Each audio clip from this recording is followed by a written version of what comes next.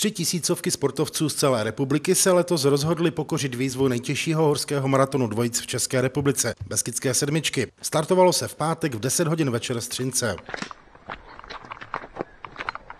Po nočním běhu se pod vrcholem Radhoště na Pinduli první závodníci objevili už v sobotu před devátou hodinou. Tady je čekalo občerstvení před závěrečným výběhem na Javorník. Mezitím už fanoušci čekali na Frenštátském náměstí a první dorazil po červeném koberci v tuto chvíli už čtyřnásobný vítěz Stanislav Najvert společně s Janem Zemaníkem. Vždycky co rok mám krizi a druhý rok se mi jde fajn, no, tak letos jsem si to zase vybral, tu smůlu.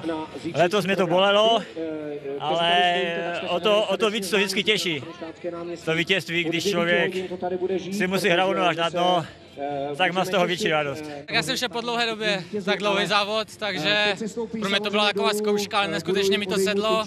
Měl jsem skvělého parťáka, skvělý support, skvělé vybavení, byl to skvělý den na horách. To měli za sebou trasu dlouhou 95 km s převýšením 5470 metrů, které zdolali za 12 hodin a 2,5 minuty. Poslední symbolické kroky vedly i letos na pomyslný vrchol hory K2 nad náměstím, kde je připravena pokladna, do které závodníci přispívají na dobrou věc. Letos na konto organizace Šafrán dětem. Vždycky, když závodníci vhazují do té kasičky peníze, které nesou celou trať sebou, těch 95 kilometrů, tak i pro nás je to tady velmi emoční, protože e, někteří dojdou do cíle s tím, že řeknou, já jsem to došel, abych tady mohl vhodit ten obnos a dostat tu stužku na krk. Nakonec se podařilo vybrat téměř 46 tisíc korun. V cíli závodu tradičně povzbuzují i ti, kteří jej dokončí předčasně nebo zažili tvrdý test sil v minulých letech. Určitě bych to nenazývala, že jsem mi běžela, šla se mi.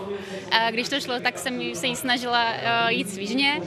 Eh, krizí bylo spousta, ale byl to neuvěřitelný zážitek. Často tady někde vždycky přespíme, podíváme se na ně, povzbudíme. A já myslím, že někdy to ještě do budoucna určitě půjdeme.